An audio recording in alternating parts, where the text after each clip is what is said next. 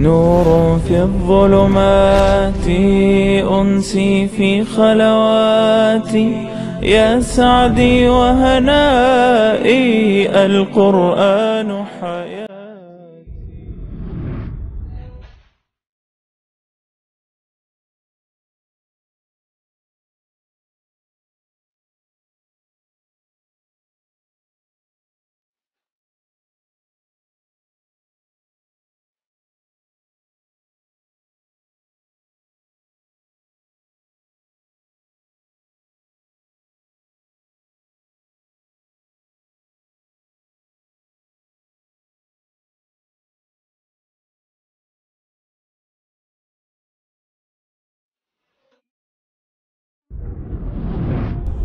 آری هر کس به وعده اش وفا نماید و تقوا پیشه کند بداند که الله پرهیزکاران را دوست دارد.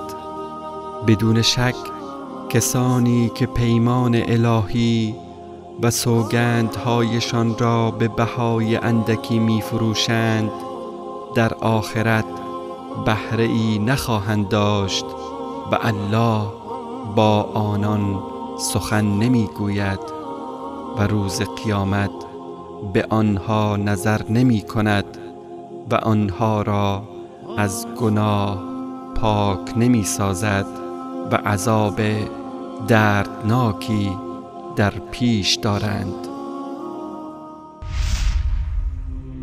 نور في الظلمات أنسي في خلواتي يا سعدي وهنائي القرآن حياتي.